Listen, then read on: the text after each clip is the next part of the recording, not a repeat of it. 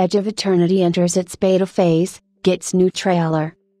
Midgar Studio and Dear Villagers have announced that their JRPG, Edge of Eternity, enters its beta phase today. In order to celebrate this announcement, the teams have also released a brand new trailer that you can find below.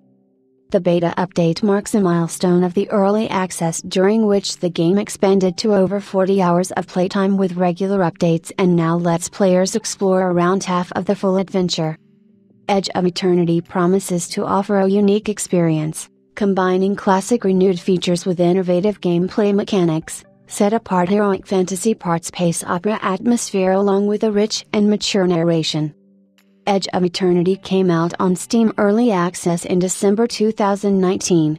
The game also supported mods from the get go, with the Eternal Forge mod kit being available on day one of the early access.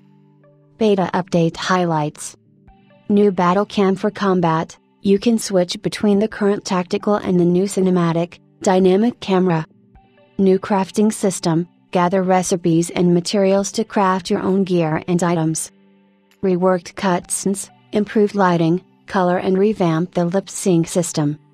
New quests, dynamic events and spontaneous secondary quests. Updated character designs, includes new details for the heroes and NPCs. General polish and fixes,